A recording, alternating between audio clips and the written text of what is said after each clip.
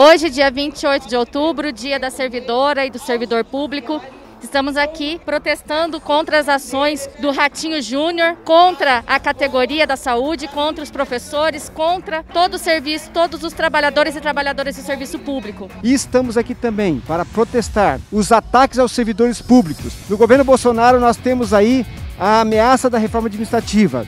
Do governo Ratinho, o congelamento dos reajustes salarial da database nossa o congelamento de todas as progressões e promoções. Há muito tempo que nós reivindicamos uma mesa de negociação, que não é nenhum favor do governo, é uma obrigação receber os servidores e servidoras. E mesmo em tempo de pandemia, nós temos que convocar a categoria, porque o governo tem retirado direitos de todos nós e direitos da maioria dos trabalhadores e da população. Só que hoje nós estamos aqui mais uma vez lutando, tendo que exigir os nossos direitos numa sociedade brasileira onde o serviço público não é valorizado. Trabalhadores e trabalhadoras que estão aqui hoje é porque estudaram, porque passaram em concursos e nós não vamos aceitar menos do que nós merecemos. Então hoje é um dia para a gente comemorar toda a nossa caminhada de 2020 e para protestar contra as, as ameaças que nós temos aí é, contra os servidores. O significado disso é de fundamental importância que todo mundo saiba que é para privatizar todos esses serviços que são essenciais para a população, seja a saúde, seja a educação,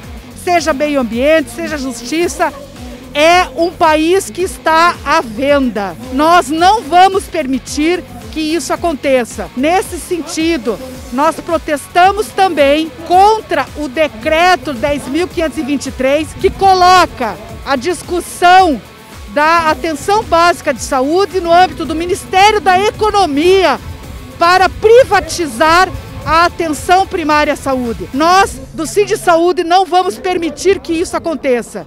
Estamos já é, registrando protestos dos conselhos municipais dos conselhos estaduais de saúde e já teve um protesto do Conselho Nacional de Saúde contra esse decreto que desloca o Sistema Único de Saúde, a sua base, para o Ministério da, da Economia.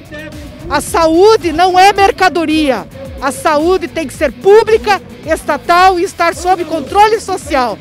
Nós lutamos por concurso público para que os profissionais de saúde sejam de carreira e tenham vínculo com a população. Então nós não vamos admitir essa privatização desse governo genocida.